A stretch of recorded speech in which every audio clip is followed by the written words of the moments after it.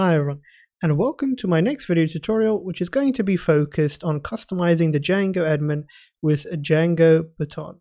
Now, of course, I have made many videos on customizing the Django admin. Now, in terms of customizing it with a specific theme, I have made a video tutorial which you can find on the channel where I customize Django admin with Jazzmin. In this case, we're going to use Django, Django Baton, so something a little bit different. So of course, like usual, to get started, all you need is a simple Django project up and running. So as you can see, mine is very straightforward. And all you want to do is you just want to make your default migrations if you have a newly set up project. So I'm going to do that. So I'm going to say python manage.py migrate. Right, there we go. So I've made my default migrations. Let's follow the installation guide here. So what we need to do is install Django Baton. So I'm going to copy that and install it. All right, let's just give it a moment. There we go. So it's been installed.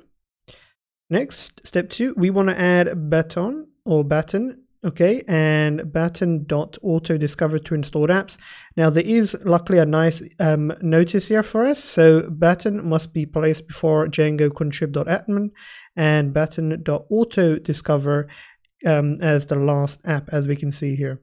So I'm going to do exactly what they say. So button, I'm going to put in my settings.py file under my list of installed apps, and I'm going to just put it right here up top, just above django.contrib.admin so that it overrides it. So that's obviously the reason why. And then baton or baton, I'm sorry, I'm not sure how to pronounce that word um, I'm going to put at the end of my installed apps list. There we go. Perfect. Step three. So what I need to do now is replace django.contrib.admin in the project URLs and add button URLs. All right. So we can go to our base urls.py file. You can just remove this comment here and they're telling us just to remove django.contrib.admin in the project URLs, which is of course this. So I'm just going to comment it out to be honest. And we need to anyway replace it with the following. So from baton.autodiscover import admin. There we go. And we need the include function, it seems, so we can add that right there.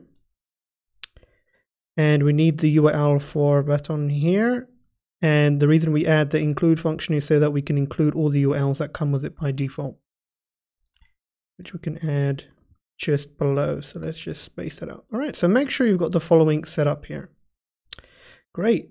And we can move on next. And as you can see here, there is a message that they do say here, if you if we if for some reason you get a no crypto library available when using the Google Analytics Index, then you can install the following package. Okay, so just some extra information for you. Next, what we can do is, what I like to do is just run my server just to make sure that there aren't any errors or whatnot. All right, that looks good. All right, so what we can do now is just create a super user. So I'm going to say python manage.py create super user. And I'm going to say admin 101 as an example, email skip, add in a password. Okay, and I want to now run my server.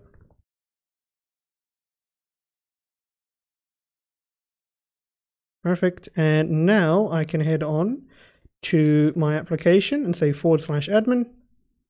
And there we go. We can see that it has a unique and quite a cool looking user interface for the Django admin page. I will zoom in just a little bit so you can see. And now you can enter in your credentials accordingly. All right, so once you've entered in your credentials, you can log in to your admin page. And as you can see, we have a snazzy looking sort of user interface. So something different here and our Django admin page has been customized using Baton. And as we can see, we have our default authentication and authorization app with our user model and group model here. We can see we've got some nice icons here for our actions. So a nice logout icon for logging out change password. We can see we can view our site by clicking on the following. And of course, we can um, manage our settings accordingly.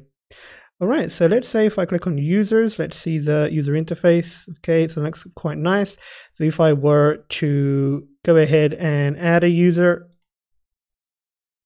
we can see we've got some nice sort of um, form validation in place here for our username, for our fields, our input fields. And we can see we have some nice uh, green buttons here. Everything looks a little bit more concise in a manner of speaking. And we can see that the UI has been completely transformed for us in our use case. And we can also go to the home page and there we are back to where we began. And on the left hand side, of course, we can see um, the apps that we have. So our default ALS app is here on the left. And of course, if we have more um, apps that we create. And of course, if we register our models, it should um, show here on the left hand side a little bit more um, strategically for our use case. All right, guys, so that's it for this lecture. So very short. I just wanted to show you how an alternate way into customizing your Django admin. So the more options you have, the more that you have to pick from and decide. But that's it for this lecture. And of course, thank you for the support as always, guys, and I'll see you in the next one. See you.